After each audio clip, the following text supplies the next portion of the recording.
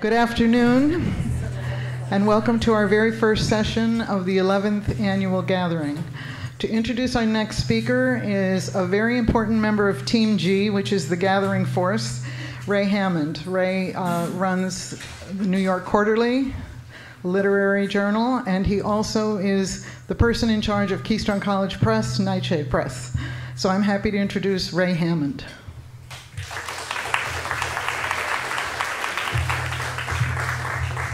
Thank you, Charlotte. Good afternoon. Please allow me to begin my introduction of Steve McIntosh with a very brief personal testimony. I first heard Steve McIntosh speak on NPR shortly after his book, Integral Consciousness and the Future of Evolution, came out. I had just left from visiting my family, settling in for the nine hour drive back to New York, when passing Hollins University on Interstate 81 on the grade up Tinker Mountain, Steve's interview came on. Now, I'm very specific about the location, not only because it was such a memorable moment, but because from the grade up Tinker Mountain, you can see the bottom of the Shenandoah Valley that is Roanoke, nestled between the Blue Ridge Mountains and the Allegheny Mountains. Growing up there, I had been raised to be very religious and had been taught not to question. But question I did, especially as I got older and eventually escaped. I began in my youth to ask questions such as why was the only acceptable music for the hymnal written between the mid 1800s and early 1900s?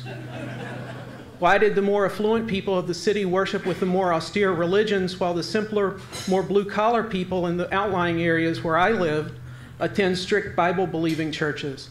And then the people who were mostly farmers, one mountain range over, yell in tongues and dance in church. And then yet another mountain range removed from the city dance with snakes and drink poison. And while not all of my questions were religious, I knew that the answers had to be bigger than the obvious. Well, things started coming into focus that moment. I found some answers and definitely more questions when I heard Steve McIntosh explaining the evolution of social consciousness. I was and am to this day inspired by his work. I hope that he and the gathering this weekend will equally inspire you with maybe some answers, but more importantly, questions of your own. Steve McIntosh is an American author and president of the Institute for Cultural Evolution think tank. The Institute focuses on the cultural foundations of America's political dysfunction, working to expand the scope of what people can value. Steve has written three influential books on, on integral philosophy that animates the Institute's perspective Integral Consciousness and the Future of Evolution, Evolution's Purpose, and his most recent, The, the Presence of the Infinite. His work explores the intersection of social development, spirituality, and politics. I'm very pleased to introduce you to Steve McIntosh.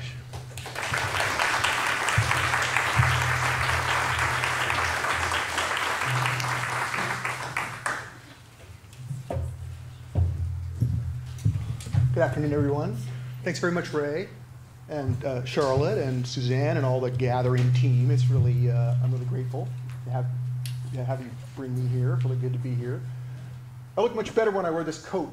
I'm from uh, Boulder, Colorado, so it's very dry there, and I'm, um, I'm just getting used to the humidity, so you have to pardon me if I just kind of throw this over here and you'll know I brought it.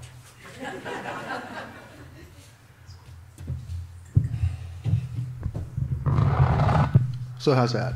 That's a little bit better? Okay. So as is becoming increasingly painfully obvious, uh, we live in a very divided cultural time. And growing out of our divisions, growing out of our political dysfunction is a participatory process. You know, and indeed, it's going to take the entire culture to mature beyond um, the dysfunction that we find ourselves in. So this, this talk, this presentation I'm going to give you is participatory in the sense that I'm going to keep it as short as I can, you know, less than 40 minutes, and then we'll have the second half of the, of the opportunity together to talk about it. So I want you to think in advance of this problem that we're all faced with, a divided culture. So bear with me and just, just close your eyes for just a second and think about how this problem feels. It feels frustrating. It feels vexing. It feels sometimes uh, you know, impossible to overcome. So ask yourself, what's causing this? what's, what, how, how can we grow out of it? What, what's, what's the, what are the key leverage points for moving beyond um, a division uh, that really threatens our democracy itself, I think.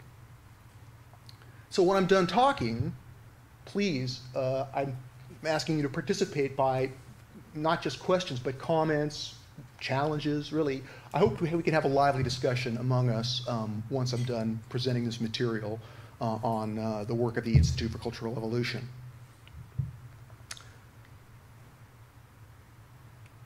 So, as Ray said, my work is uh, focused on the evolution of values and how that affects both politics and culture. And after working on this in this field for about a decade, uh, my colleagues and I sort of had a sense we had a, we felt a kind of a duty to try to bring some of these ideas uh, to the culture beyond just writing books or, or giving talks. And so we, we uh, gathered together to create um, a fledgling institution, the Institute for Cultural Evolution. And our focus was we, we, we, felt we had a contribution to make in the realm of where, wherever a political or social issue was impacted by the culture war, we felt we could um, make a contribution. So we began the Institute by focusing on climate change, which uh, is certainly a problem that's impacted by the culture war. But after working on climate change for about two years, it became more and more obvious that the underlying problem, um, at least the one that we could contribute to to try to overcome, you know, or ameliorate climate change, was this deeper problem of uh, political polarization, hyper partisan polarization. And so since 2014, that's been the focus of the think tank. We've had a, a variety of, uh, of high-level conclaves where we've invited political and social leaders together to talk about the subject. Um, we we evolved that further to beyond just trying to meet in the middle. We thought, well, we're going to need both sides to evolve. So we had uh, conclaves on the future of the right and the future of the left to try to frame uh, a more mature version of, of these political uh, camps. And of course, since the, uh, the 2016 election, um, the, the problem of partisan polarization has become even more severe.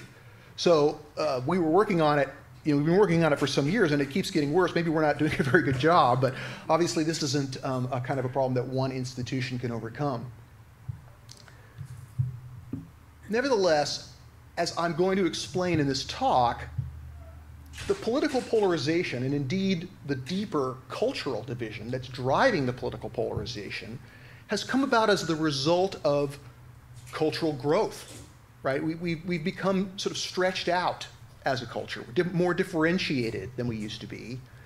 And so the idea that we could actually outgrow this problem by cultural maturation is what we're beginning to examine. The famous psychologist Carl Jung is famous for saying that we don't so much solve our problems as we outgrow them.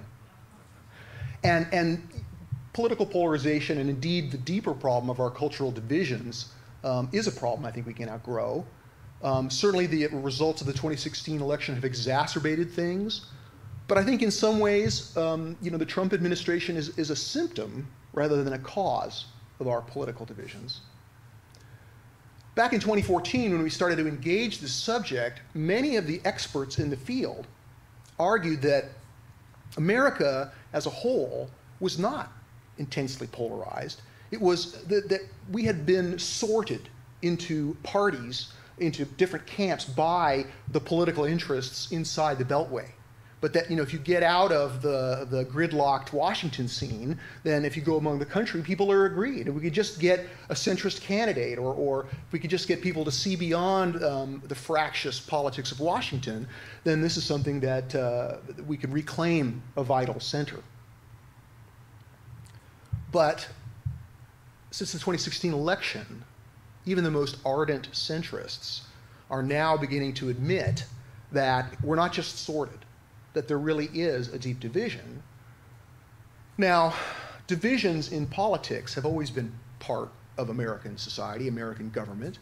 Indeed, uh, just like our legal system, where adversarial uh, uh, attorneys can argue things out to get to the truth. I mean, a certain amount of political division is good.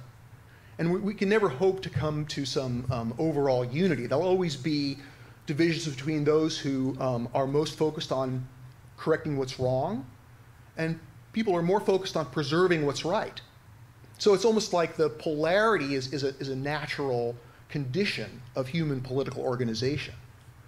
But polarities can either be uh, generative of higher truth, they can either lead to a, to a, a more synthetic understanding that, that goes to a higher place, or polarities can become stuck.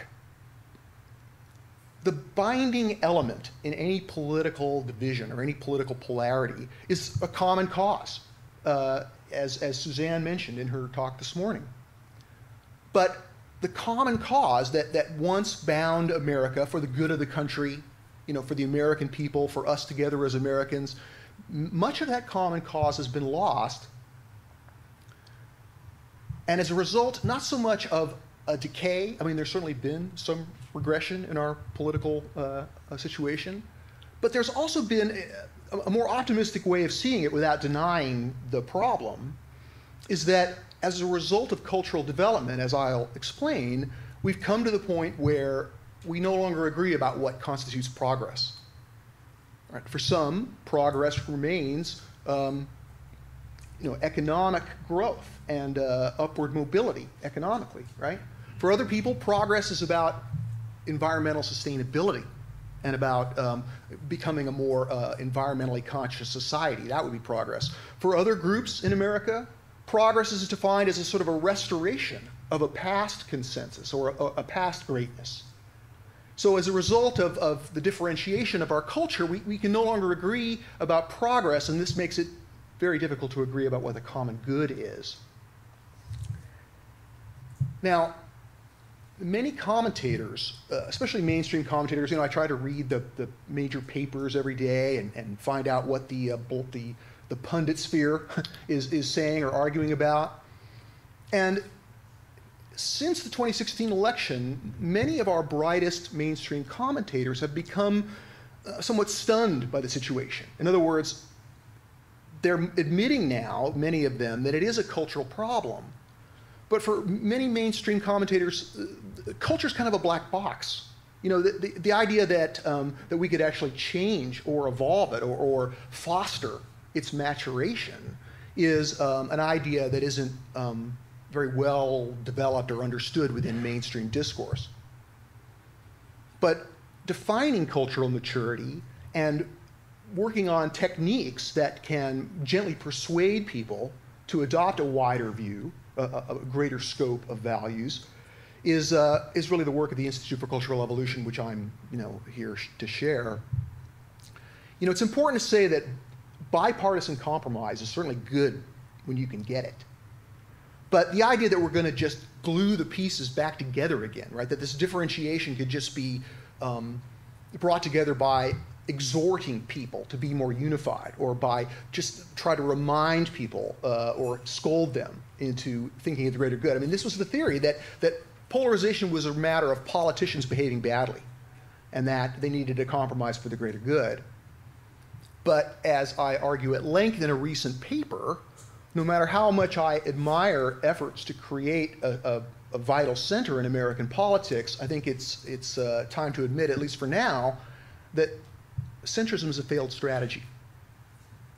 And I'll help explain why that is, but why that doesn't mean that uh, you know, there's no hope for reaching um, a tentative consensus again.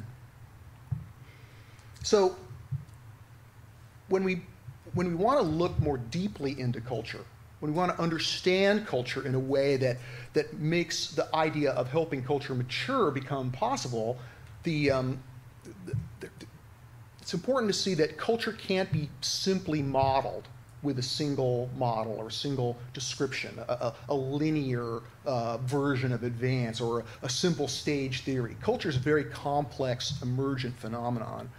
So to understand it more deeply and get at its roots more thoroughly, um, it's important to look at it from a variety of different angles, different slices of the larger cultural pie.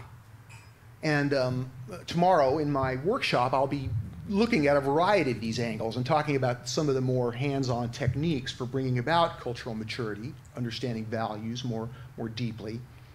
But among the various viewpoints or, or, angles on culture that sheds the most light on our current problem, um, again, partial but, but powerful, is this idea of, of worldviews. So, a worldview is arguably the basic unit of culture, right? If we ask what the modern world is, you know, what, what is modernity, you know, the dominant culture of America?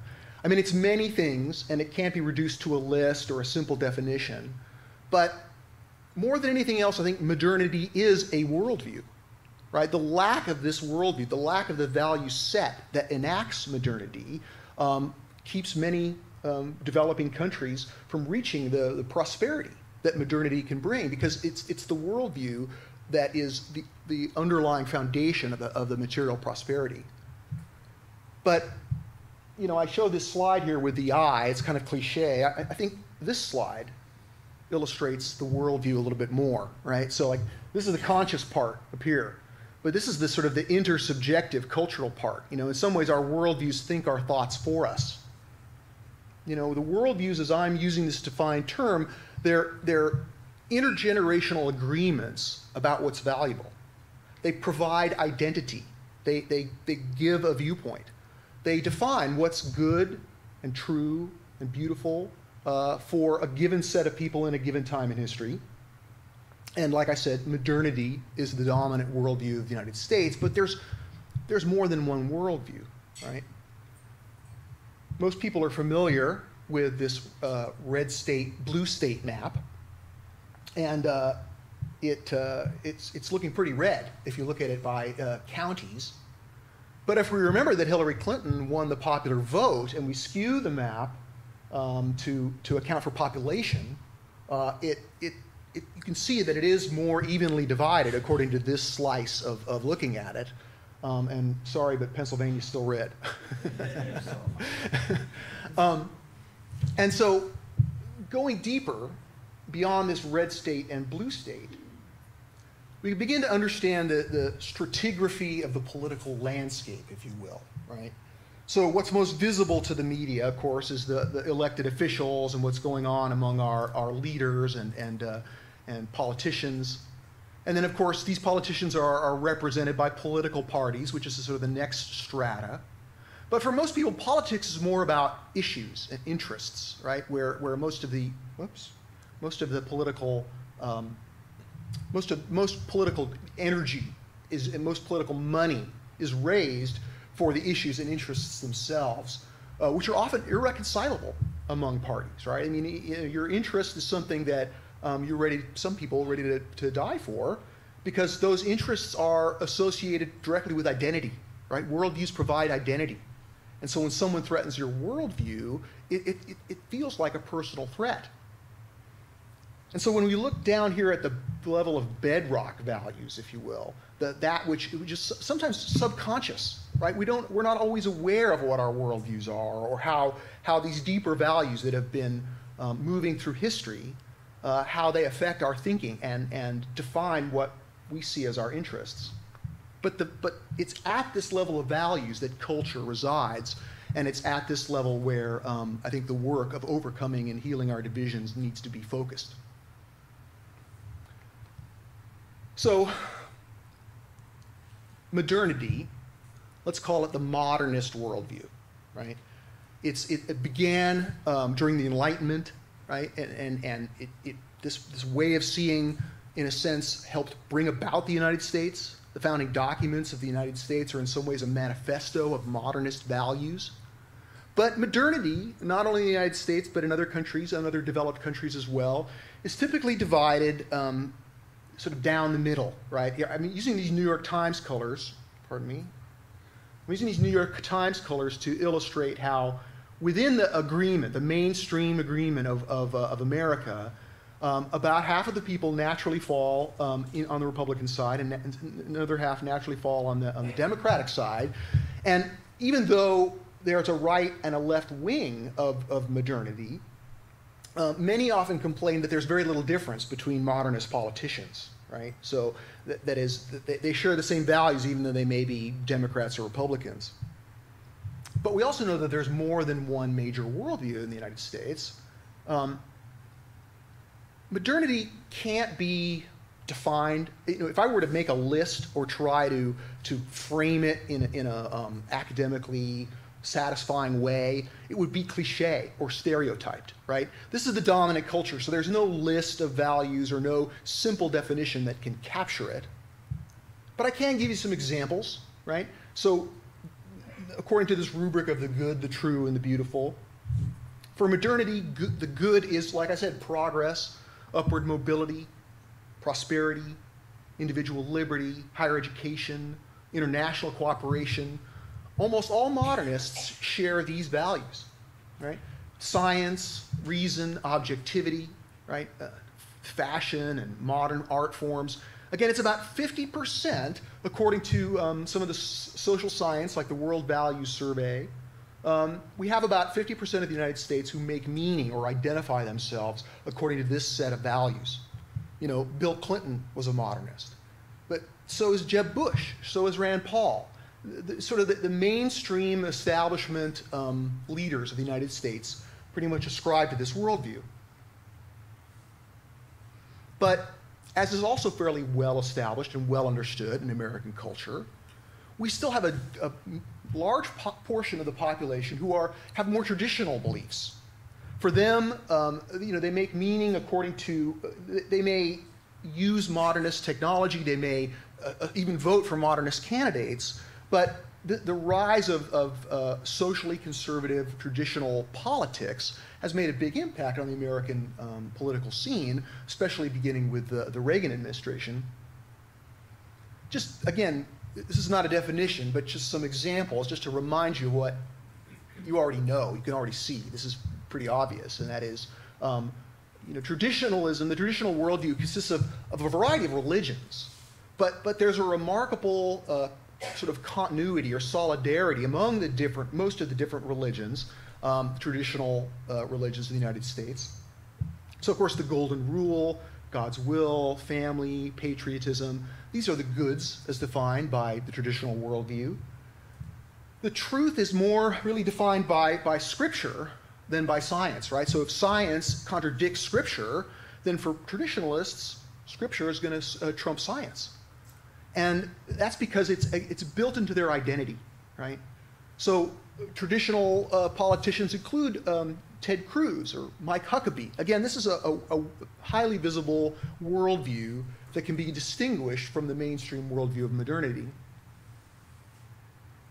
But even though, for example, this has been around, people have known about this. Uh, some of you may have read Thomas Friedman's book, The Lexus and the Olive Tree, right, which describes these two cultures, not just in America, but worldwide, and how they are very different. And indeed, modernity originally um, broke out of traditionalism during the Enlightenment, right, overthrowing the king, uh, bringing in democracy, uh, achieving, in, in some ways, the great enrichment right? We went from living, most people living on $3 a day to what economists say is now about $150 a day. It's like a 5,000% increase. And so, in some ways, modernity um, has been the greatest thing that's happened to human civilization since the domestication of agriculture, right? I mean, we, we, we sort of take it for granted now and, and are focused on overcoming the problems created by modernity, which I'll get to here in a second.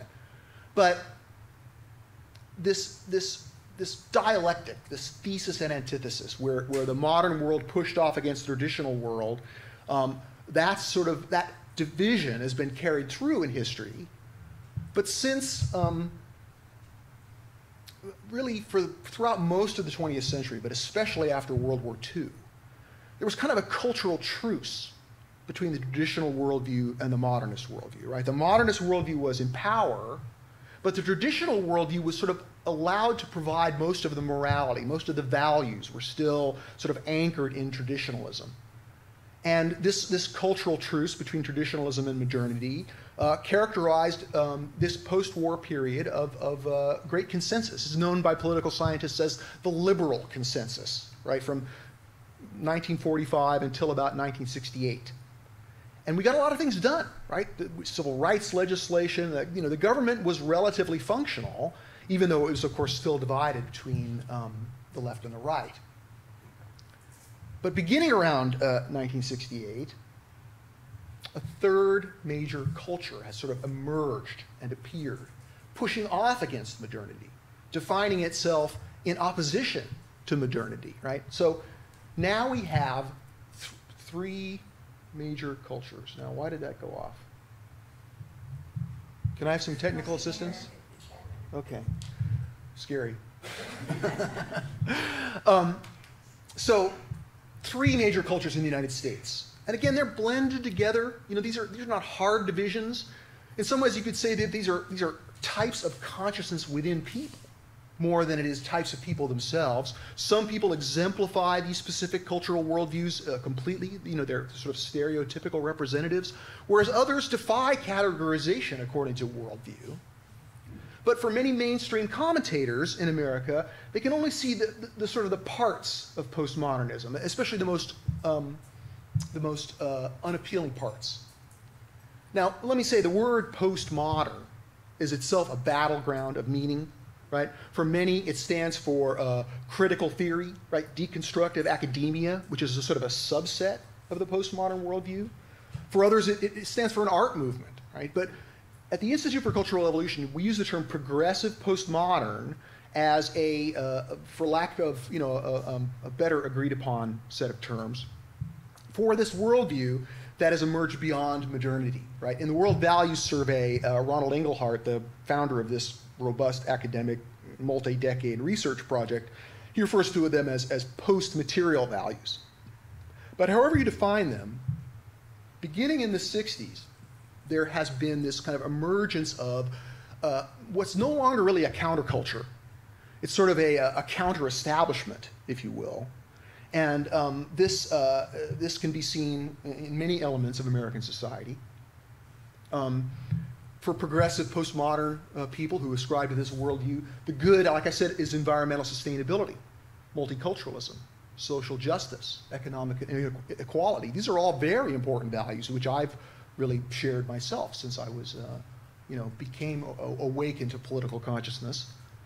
The truth is, truth is not so much ob- hardly objective as it is in modernity. It's more subjective, more constructed, um, you could even make fun of it and say, you know, truth within postmodernism is whatever, whatever truth, whatever ever true for you, which in some ways has contributed at least to some of the uh, post-truth age that we find ourselves in. Again, I don't want to lay the blame with postmodernism, but it's important to see these cultural currents. It's no longer a counterculture, like I said. It's not just the hippie movement. It, it sort of became adopted by a major portion of the American society, especially um, elite academia, um, the entertainment industry, you know, the music industry.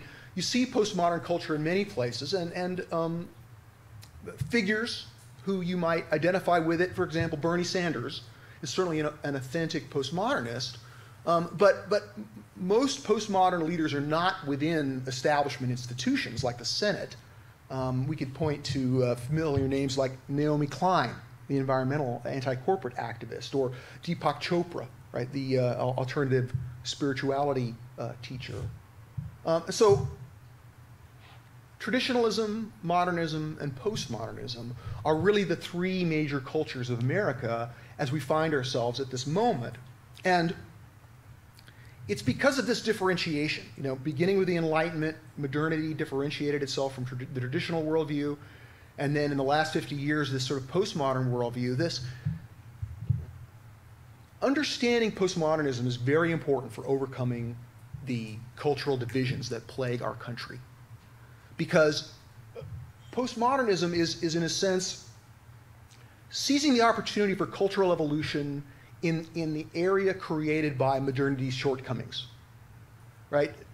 Modernism, for all its incredible technology and wealth and prosperity and globalization, it's not the end of history. Right? And no matter how much cultural evolution it, is, it has brought about, it's also created problems. You know, it threatens humanity in ways that no other worldview has before or since. Um, you know, not only nuclear proliferation, um, but you know, environmental degradation, uh, race to the bottom globally, right? There are, there are many goods, but there are also many, many uh, challenges and, and uh, uh negatives that have come from the globalizing rise of modernity. And, and postmodernism as a, as a worldview sort of formed, I mean, it, you could trace it all the way back to the Enlightenment itself with uh, uh, contrary thinkers like Rousseau, right? Or, or uh, you know, the, the transcendentalists like uh, Emerson and Thoreau. You know, many, they were sort of proto-postmodernists in a sense. They were offended by modernity and its environmental degradation. But, but the sort of the revolt of the artists and intellectuals within modernism um, was, was remained within modernist culture uh, throughout the 20th century until the dramatic events of the 60s, right? With 1968 sort of as a, a, a kind of a, um, a pivotal year. Um, and it was beginning in that year that, that the, um, the larger culture began to, uh, at least a portion of them, 20% of the larger culture, began to wake up to the fact that um, modernity um, couldn't be all there was. But opportunities for, for making things better, in a sense, were defined by what was wrong. And so, in a sense, if, if, if we see modernity as a thesis, we can see how postmodern culture has arisen as a kind of antithesis to, to modernism. It defines itself, in a sense, its values are defined by what's wrong with modernity. You know, the, the, care for the environment is that value is awakened by the destruction of the environment, right? Hope for equality that is sort of is created by the gross inequality that, that the uh, economic prosperity brought by modernity brings. So it's important to see how, how postmodernism is, is, is animated by what's wrong. But of course, the antithesis uh, of, of, of something is, is, is not unstable. It doesn't really provide a, a, an alternative it just focuses on what's wrong and tearing down the, you know, the, the problems of the existing system. And that's an important step, but that's kind of where we are. We, that is, the cultural truce between traditionalism and modernism was broken when postmodernism merged as a culture and a worldview of its own, you know, with its own market and its own political power, or at least relatively. And so this, in a sense, disrupted because now that there's there, the, the, traditionalism and postmodernism are each each have sort of robust sets of morality that are competing for the heart and soul of, of, of modernity, you know, at this time in history. And it's a sort of a tug of war. Um, so if we, if we take these worldviews, worldview uh, conception, and we map it onto the left-right spectrum, right? Instead of a timeline um, from, uh, from, from right to left, we get this sort of le left to right, we get this uh, configuration. And, and David Brooks recently had a column about uh, the four cultures of America. He didn't describe them exactly in these terms, but, but the, the, the, four cultures matched pretty well, right? So, you know, within the mainstream, we have fiscally conservative modernists and, and libertarians, right? These are the sort of establishment Republicans. We have liberal modernists, like Hillary Clinton for the most part. And, and then we have the progressive postmoderns who, who uh, you know, the, the, the, um, the polarity, if you will, that exists between these two different cultural forms, even both on the left, uh, is, is uh, having a lot of influence on the election right now. So uh, this sort of shows how when we, when we spread out the four cultures, or you know, the three worldviews that form four cultures across the spectrum of left and right, we can see that the, the, the, the polarity, the hyper-partisan polarity, of course it exists across left and right in general, but it also exists, um, you know, so, so we, damn. It's this, I'm so sorry. I've got my little pointer here. It's the first time I've used it. So I'm,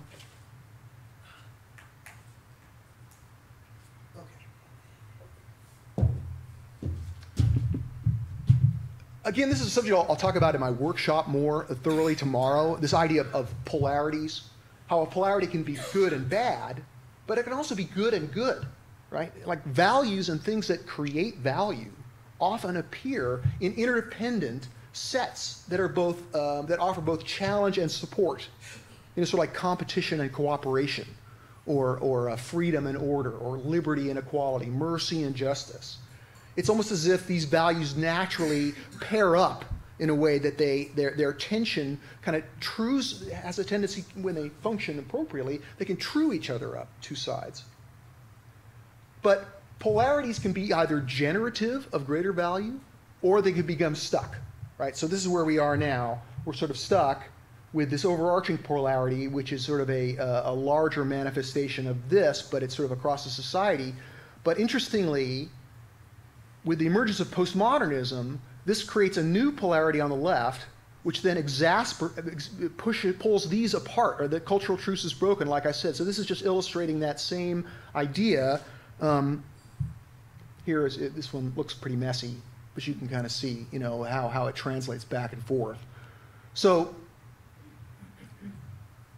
understanding that, that, that each one of these worldviews has very important values that it's brought to our society and negatives that go with them.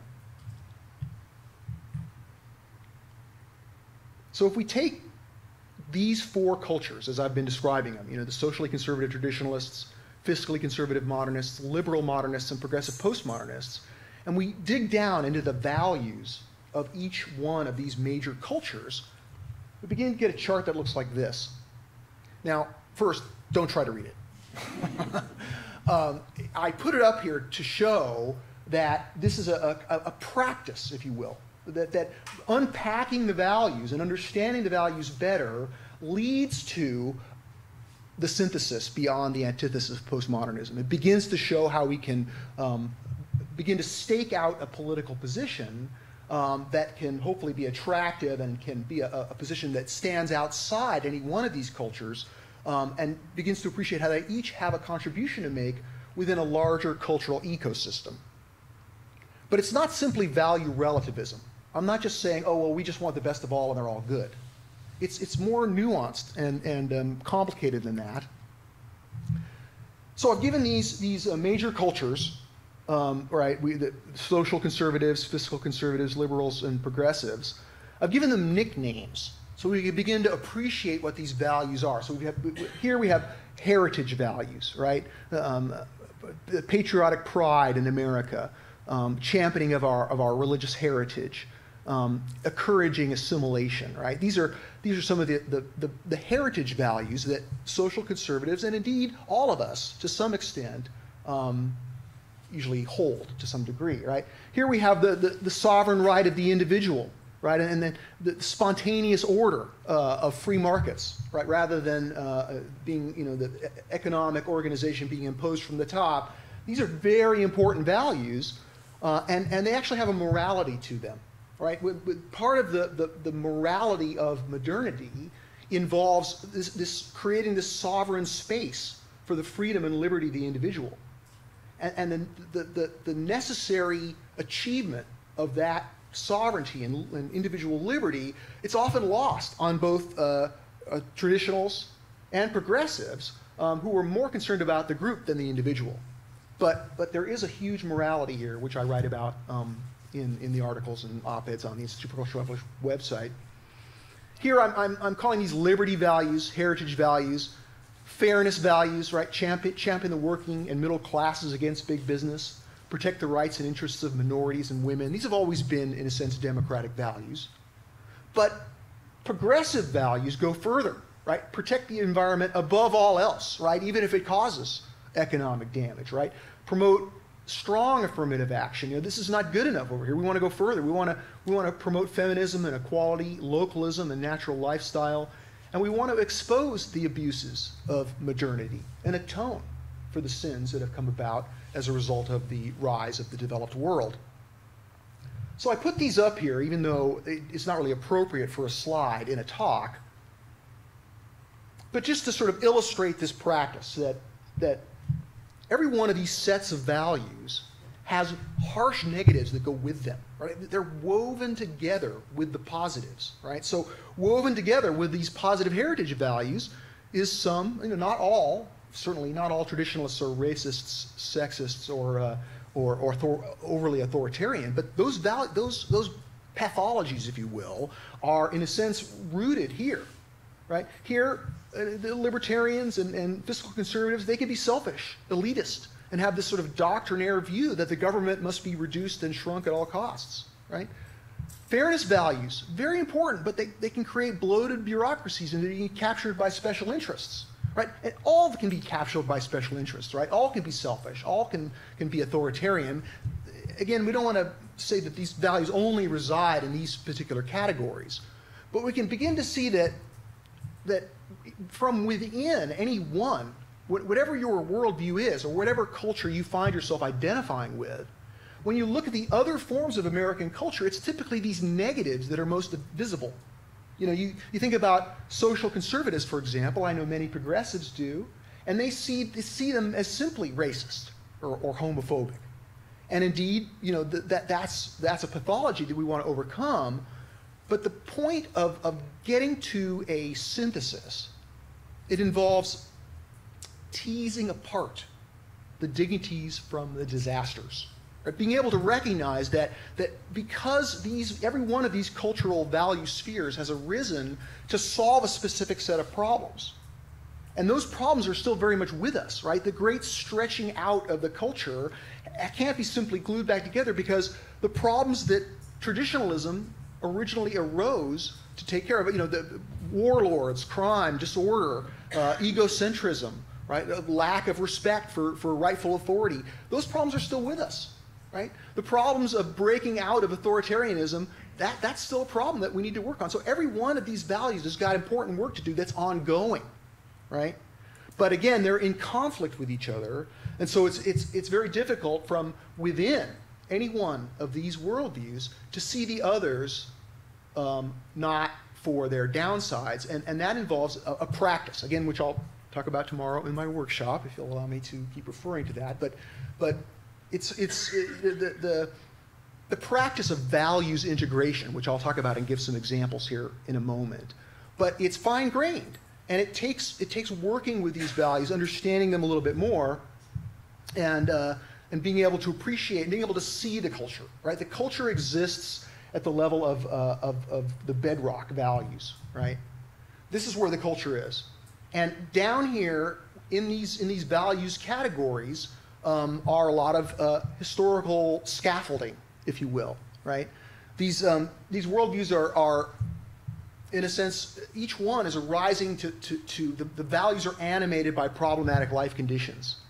And because the, each, each worldview in this sort of course of historical development is, is working to get away from the pathologies that it encounters at its time in history, um, in a sense, the negatives are, are inevitable, right? So it's a little bit this course of historical development driven by problematic conditions um, you know, Hegel recognized it 200 years ago. It, it's definitely a process, a, a dialectical process of thesis, antithesis, and synthesis.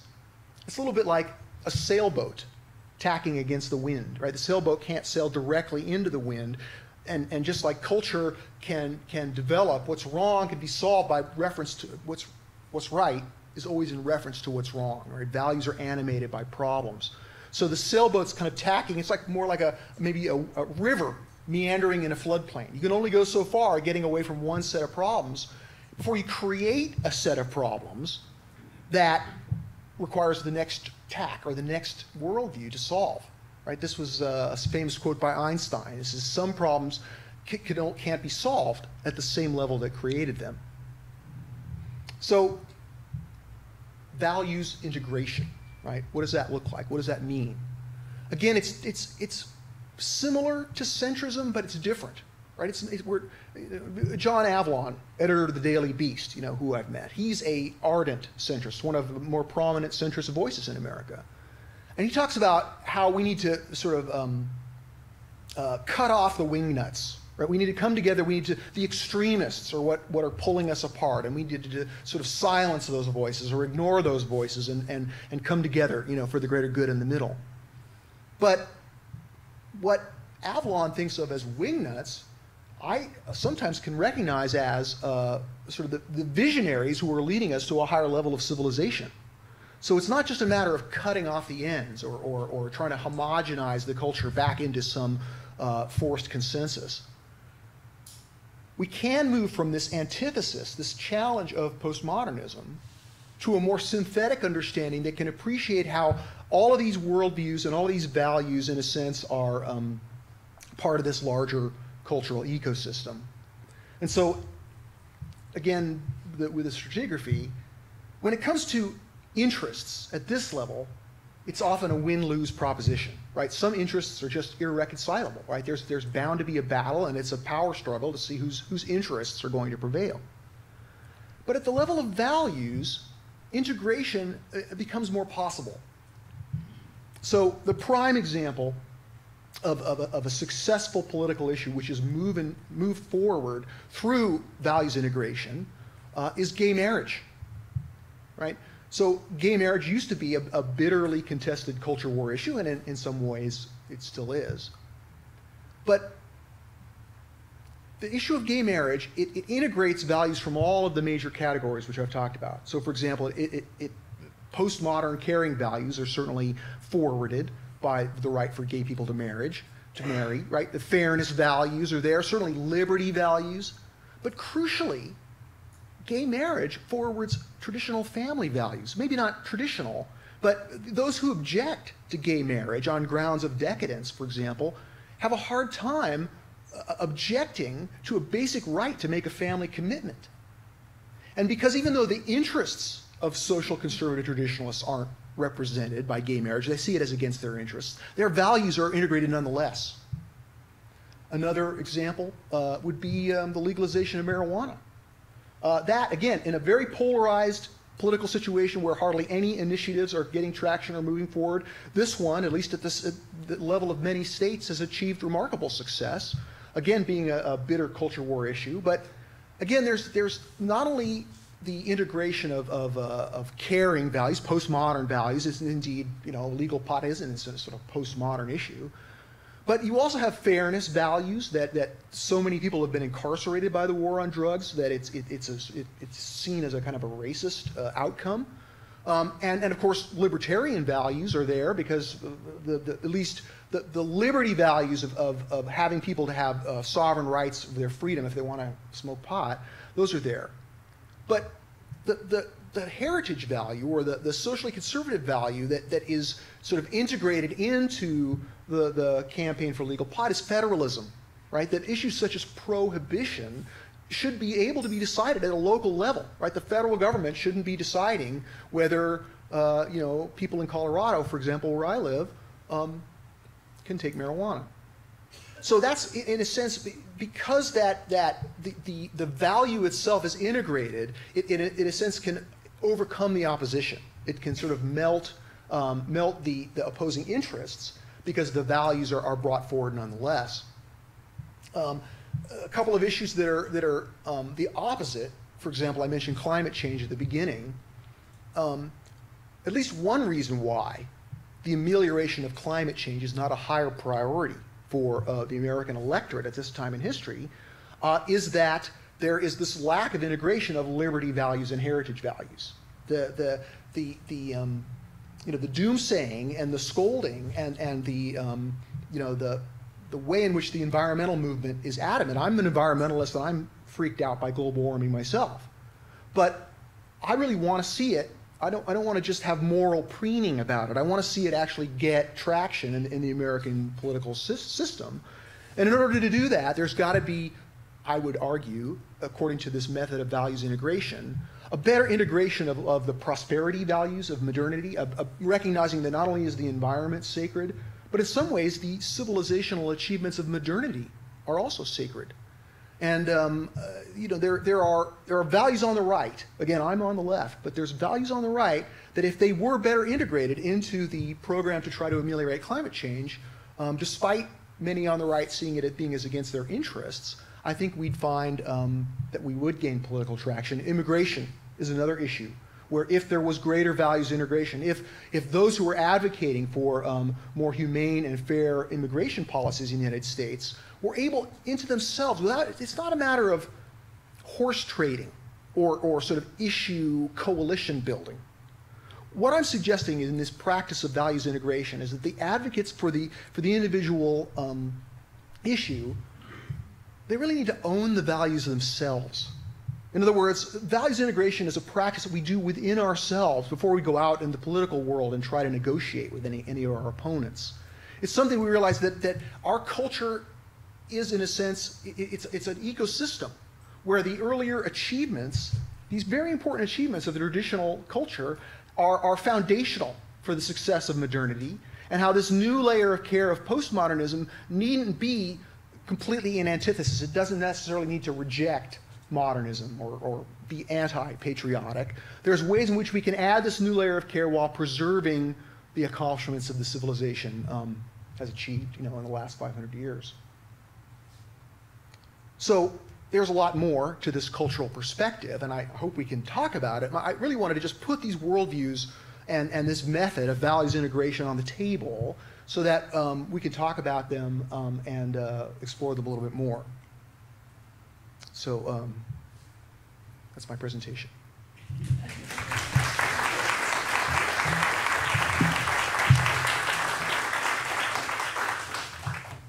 So, um, so can we, will someone, someone ask a question?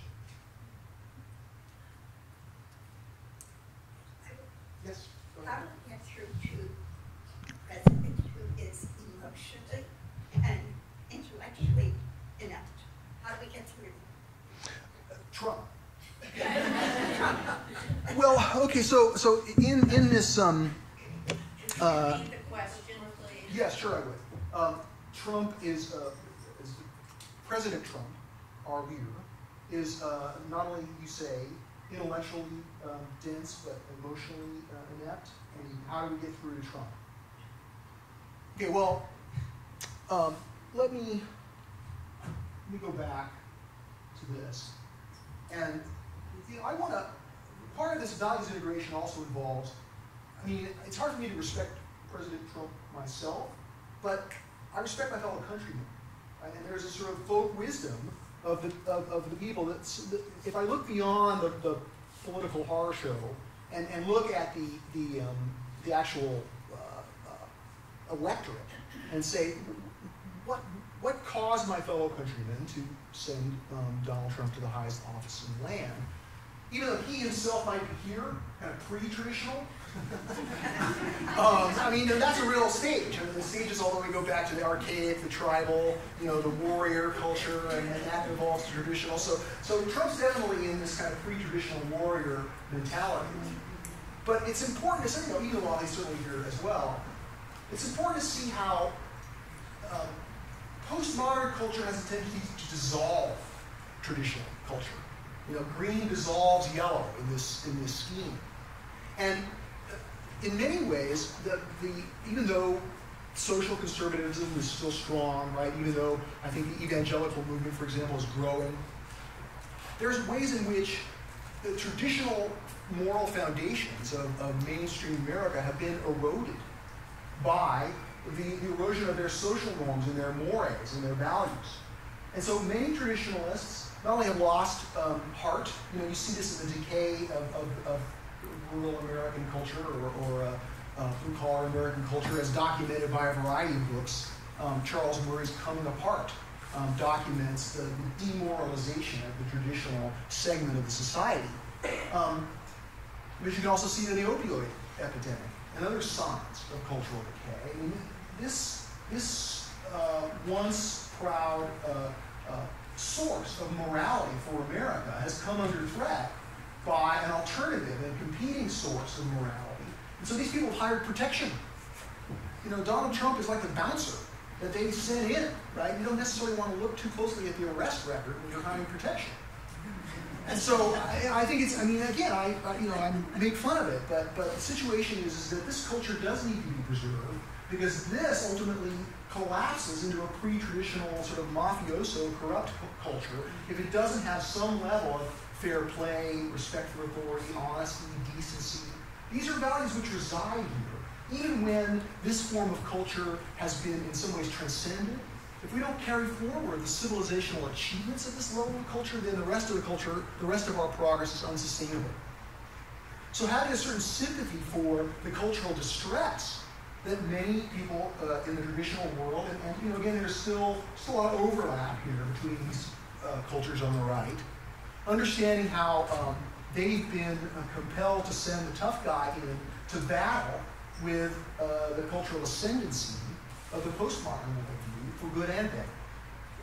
So that's so. How do we get through to him? I say um, the, the focus ought to be on getting through to our, our, our countrymen, you know, our, our fellow Americans who reside here, by, in a sense, integrating their values, by, by acknowledging that there are very important achievements of traditional society that we depend on, that we're using right now, even in our most um, you know, progressive cultural enclaves. Yes?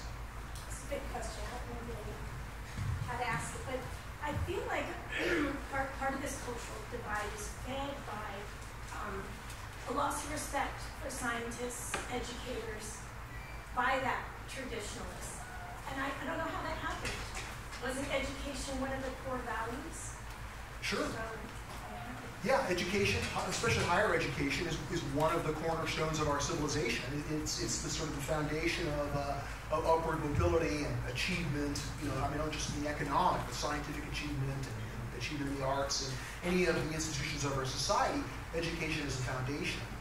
Um, and, uh, you know, I, I don't have a, a, you know, an explanation. I would say that the, um, the cultural decay that we're experiencing as, as these different cultures pull apart, right? The animosity that exists between the different forms of society, it's coarsened our culture uh, in, in ways that are certainly lamentable. Um, but every one of these worldviews emerged because of very challenging life conditions, right? The life conditions, in a sense, are what call forth and animate the higher level of values, right? So we find ourselves in this situation, not just within the Trump administration, but you know, in, a- in a in a divided society. But um, that is a powerfully uh, uh, stimulative life condition, which I believe will lead to further cultural evolution, and that further cultural evolution will become uh, will come in the form of, uh, pardon the term, post-postmodern culture, right? Right? Uh, uh, it's sort of an integral culture that integrates these values. That if it weren't for the achievements of postmodernism, if it didn't, you know, the care for the environment, social justice, multiculturalism, alternative, you know, the breaking out of, of the straitjacket of scientism, right? These are major achievements of, of this countercultural postmodern worldview. And without those achievements, we wouldn't, without the antithesis, as harsh and disrespectful as it can be, without that antithesis, we wouldn't be able to, to lead to a, a, a higher level of synthesis where we can, reclaim what's been lost, right? So, um, uh, the way evolution works at every level, cosmological, biological, and cultural, is first there's differentiation, but that leads to a higher level of integration. And so this is the problematic life condition, but this is why I remain hopeful that further cultural evolution can maybe not, you know, unite us into one culture like it existed in the post-war consensus, but certainly a more respectful culture where um, we can not only respect other people's values but actually own them to a degree ourselves.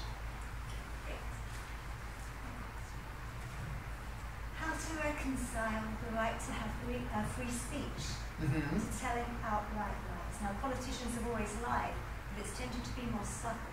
Right. Now there's untruths, clear untruths. Right. How do you reconcile free speech and lies? Right, right. Well, uh, uh, uh, uh, yeah, thank you for that question. How do we reconcile free speech and, and the post-truth lying culture that we seem to find ourselves in? Um, I think part of the answer is that um, is that there, there's some things that can't be legislated. Like we sort of legislate free speech, right? That was one of the uh, the major values of modernity, you know, enshrined in the Constitution, right? But when it comes to telling the truth, that's something that the government or laws can't necessarily um, inculcate. I mean, we can't sort of say you must tell the truth. I mean, you certainly can when you're under oath in a courtroom, right? But in a cultural context, um, it's, it's, there's some things that law isn't, isn't uh, adequate to try to regulate. It's got to be regulated by cultural norms, right? So we have, we, we, used to, we used to have honesty, decency, and respect for authority that caused people to, you know, blanch when they lied, or, or you know, in other words, the Machiavellian actors who were willing to lie at any price. The social norms that prevailed during the consensus helped to um, uh, help to overcome those, right? So you think of J- Joseph McCarthy, right, in that famous cathartic moment when you know somebody questioned, "Sir, how do you know decency?" And that was sort of the end of McCarthyism in a way, because the social norms, everybody could feel that social norm inside themselves to be honest and to be decent. Um, and and it, it, was more powerful than any law could be in terms of regulating the culture and exposing, you know, those who were harming it. So we, these norms, these social norms have been severely questioned and disrupted, I think, for, and they should have been. And that was sort of part of it, right? There's a lot of traditional values that are no longer serviceable for our, you know, culture that we have now. And so the liberation from the oppressive nature of those, which I listed in those values charts, was again a major accomplishment over here. And you know, there have been some ways that, that this postmodern culture, which have, has a strong sense of morality, has tried to inculcate um, social norms in a sense of replacement. A lot of this going on at the sort of unconscious level of culture. They don't have a model of culture like this. But nevertheless, there's, there's this attempt to, to bring about new social norms, and we see excesses, like in excess of political correctness, right, on some college campuses, right? But the, the underlying norms that the excessive political correctness would attempt to inculcate, those are good norms. Those are social norms that we need, right? We need multiculturalism, right? But again, one of the ways we can restore uh, respect for decency and honesty and, and, and get some of these alternative social norms to begin to carry forward some of the social norms that once constrained our society, you know, that's the job of synthesis. And so, um, you know, I, I, don't, I don't have an, an, immediate how do we get people to stop telling lies, but but I guess you know, the, the sort of regaining our collective sense of what we are willing to tolerate as a culture, establishing a social norm that can encompass the whole in ways that used to prevail is, is one of the answers. We have a couple more questions, yes. In the in the process of values integration, how do you practically speak to the liberal versus conservative in more than what do you give versus what do you get? Like, does it still boil down to that as a process? And are we simply just expanding, growing with the diversity of the culture, shrinking the world, bringing the two extremes back to a new circle, new modern? That's such a great question. Um, so I can try to get at from one angle and, and follow up if I'm not answering what you're, what you're getting at. Another way of thinking about these worldviews is as forms of consciousness. Right? In, in, in my book, Integral Consciousness, I talk about this, this idea of a post post post postmodern worldview. Um, well, anyway, in there. Um, is, is that the consciousness already includes, so these values are sort of made up these, these, these forms of culture are made up of values. Values are the substance, and value agreements are what cohere into these self-organizing systems which you recognize as cultural structures, intersubjective, intergenerational cultural structures. And so the, the, the thinking that goes with every one of these, these forms of culture is a form of consciousness itself. And so integral consciousness, which is in a sense post-postmodern, as I said, pardon the term, um, in a sense tries to integrate every one of these values. We try to already have these values. So if we're trying to negotiate with an opponent in a political situation, or trying to convince someone to um, uh, to adopt our point of view or vote the way we want them to vote, part of it might be persuading them, and, and your ability to persuade someone is is, is uh, largely determined by the empathy and sympathy and, and the, the fellow feeling that you have with that person. and if the values of that person are foreign or inexplicable, or you only can see those values, or your view of those values is tainted by the negatives and pathologies that are woven together with them, like I explained, then that lack of emotional connection is not going to be there. Now that's in a face-to-face situation. In a more national situation, I think certainly, you know, in terms of rhetorical strategies, uh, that, that, that's a good one to have. But, but even before we're trying to persuade someone in a direct argument in, in discussion, there's, there's ways in which the way we frame the issue, the issue that we, we want to champion or we want to vote for, or the pressure that we put on our representatives to, to go for an issue, that, that the issue itself is already defined in a way that in, integrates those values. Right? So again, from, from integral consciousness, your, your political desiderata um, involves programs and, and solutions that have done their best to integrate all every one of these values. Sometimes it's evident and obvious, and sometimes it's really tough. You know, I'm not saying this is a panacea for all our problems, but it's at least an approach to beginning to think synthetically about how we can overcome our you know, deeply divided culture. Thinking about Germany, um, Germany since over the last 50 years, has turned out to be a force for integration in Europe to a limited extent. And that somehow the Germans have grown out of the divisions that, that emerged after World War II in order to come together and realize that they must. Now, is that is that a cultural, overwhelming cultural unity that is driving that, or is that the the, the economic um, forcefulness of, of German. Um, uh, yeah, yeah. Well, Germany is, is, is, is, a great but also very tough example because it's complicated and unrepresentative. Because in some ways, you know, they achieved some of the highest levels of civilization. They had some of the greatest geniuses of humanity, right. but they've also committed humanity's greatest crime. Right. But in some ways, the reason that, that Germany is not as polarized is that they have this common good, which is in a sense the collective guilt. Right? There's this heavy collective guilt in Germany about the Holocaust and about you know the, the Nazi period, and that sense of being German is is is um, is held together in a way by this kind of complex and troubled German identity. Right. So also um, the United States is a country of immigrants, so we have a much larger population of people who have a traditional or, or if part of the term pre-modern worldview um, you know, 30% of the U.S. are in this traditional worldview. In Germany, it's, it's, they're almost all modernists, right? Postmodernism is not as well developed as it is in the United States, at least not the cultural version of it.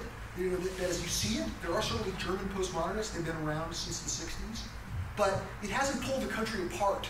It's still, you know, there, there's still a large center of gravity in modernity, and that's reinforced by this sense of, of German identity and their, their historical pressure to atone for the sins of the 20th century that's going to be you know, pulling them together and creating their unity um, you know, throughout this century until they're able to you know, do something good for the world that makes up for the Holocaust. one more question? Um, you uh, told us about the values from each of the uh, four categories which combine to change our ideas about gay marriage. Um, which of the values from the, the traditionalists uh, can be integrated to help us uh, extend our uh, ecological sustainability? Sure. Well, this is something that you've seen. I've seen, for example, within the environmental movement. Um, for a while, there was a, a, a lot, there was a lot of publicity for certain um, evangelical or, or, conservative Christian pastors who were, who were advocating environmentalism, framing it as creation care, right? And, and, and of course, you know, they, you know, they were just doing it quietly within their uh, within their in their churches, but the postmodernists jumped all over it, like, oh, like this is it, let's integrate that. And um, you know, I think that's um, you know that's really worthy, but because it was somewhat artificial, there's still ways in which you know Traditionalists, many of them, love nature, right? They love the environment. Conservation, right, is a fundamental principle of conservatism, right? The, the reason they resist the environmental movement, again, this is largely subconscious, right? But the reason they resist it is because it's, it's green, it's postmodern, right? And postmodernism is, in a sense, you know, a direct threat to their identity, right? So anything that, you know, whatever is dear to the hearts of postmodernists, they want to poke that in the eye, right? And so until, until the environmental movement takes a look in the mirror and sees how its own anti-modernism is, is hijacking its political potency, um, you know, then, then I think we're going to still be stuck in our, you know, this urgent effort to try to uh, overcome and ameliorate global warming. So again, these are cultural issues, and the resistance is how do we integrate the values? Well, we stop um, trying to dissolve that culture or seeing it only for the bad. And it's only by this larger cultural process that we'll begin to find the empathy we need to persuade these people to get on board with uh, ameliorating climate change. Sure. Okay, well, so please come to my workshop tomorrow at 3 if you can. We'll talk about this some more and plus some other slices of culture. Appreciate it.